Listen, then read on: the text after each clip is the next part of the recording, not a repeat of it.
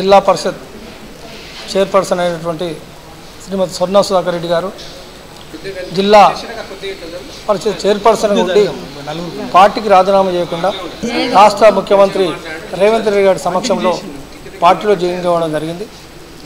ఒక జిల్లా పరిషత్ చైర్పర్సన్ పదమూడు మంది సంపూర్ణంగా ఆమెకు నాలుగు సంవత్సరాలు ఎనిమిది నెలలు మద్దతు చెప్తే పార్టీకి మోసం చేసి మరి మందరిని మోసం చేసి కాంగ్రెస్ పార్టీలో జాయిన్ కావడం జరిగింది.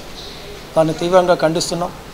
ఇంకా నీకు గౌరవం దక్కాలంటే నిన్ను ఎక్కడో ఉన్నామని తీసుకొచ్చి బూత్ పూల్లో పెట్టి ఒక జడ్పీసీగా చేసి జడ్పీ చైర్పర్సన్గా ఒక మంత్రి సమానమైన హోదా ఇస్తే కూడా ఈరోజు పార్టీని తిక్కరిసి కాంగ్రెస్లో జాయిన్ అయినాం. ఎప్పటికైనా సరే నీ యొక్క ఉన్నతతనాన్ని నిలుపుకోవాలంటే వెంటనే జడ్పీ చైర్పర్సన్గా రాజీనామా చేసి పోవాలంటే అని చెప్పి పదమూడు మంది జడ్పీటీసీలో ఈరోజు నీపైన అవిశ్వాసం పెట్టి కలెక్టర్ గారికి మెమరాండం ఇవ్వడం జరిగింది. ఆ మెమరాండం చూసుకొనైనా మీరు నోటీస్ ఇవ్వడం జరిగింది.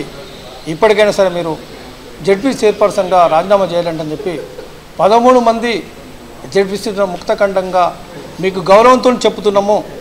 చేయనట్లుంటే అవిశ్వాసానికి సిద్ధంగా ఉండాలంటని చెప్పి మీడియా ముందు తెలియజేస్తాం ఈరోజు ప్రజాస్వామ్యంలో ఎవరైతే ఎన్నికైన వ్యక్తి ఏ పార్టీ నుంచి ఉంటే ఆ పార్టీతోని పదవి అనుభవించి వాళ్ళ వాళ్ళ పార్టీ మారాలనుకున్నప్పుడు ఆ పదవిని త్యాగం చేసి వెళ్ళాలి. ఈరోజు మా జిల్లా పరిషత్ చైర్పర్సన్ సన్న సుధాకర్ రెడ్డి గారు పార్టీకి ద్రోహం చేసి ఈరోజు మా అందరు కూడా మా అందరి విశ్వాసాన్ని కోల్పోయి ఇలా అవిశ్ అవి- అవిశ్వాస తీర్మానం ఈరోజు ప్రవేశపెట్టడానికి ఆమె మీద మాకు ఎవరికి విశ్వాసం లేదు.